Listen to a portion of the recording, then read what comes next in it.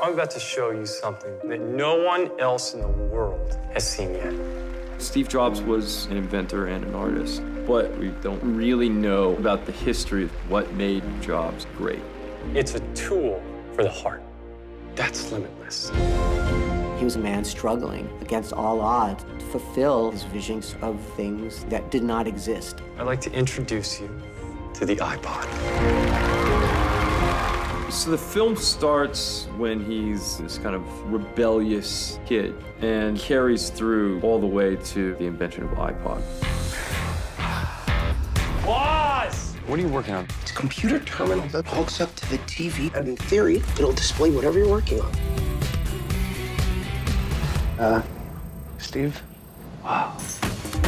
At that time, nobody understood the concept of coming home to an actual computer that you would type on, and Jobs could see what it would become. We're working in a market that doesn't even exist yet. Cheese! Thanks, Mom. So embarrassing. Trust me, on my After today, you will never look at computers the same way again. You've got a guy who wants to change the world. And he had a precision laser-like focus. You gotta just start over. I wanted to know what you want to do before you even know you want to do it. He's like a guy with blinders on, so anybody else is immaterial unless they're on his same track to achieve what he's thinking. chasing dreams since I was 14. Y'all can't stop me. Steve, You're on the Macintosh team now. what's a Macintosh?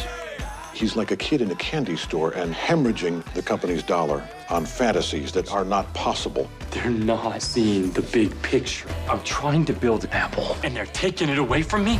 The board is unanimous. Steve will no longer be involved in this company. It's an unbelievable story that takes us on this journey of where the information age began. Ten years after Steve Jobs' departure, the future of Apple Computer is in jeopardy. Steve, look at your back.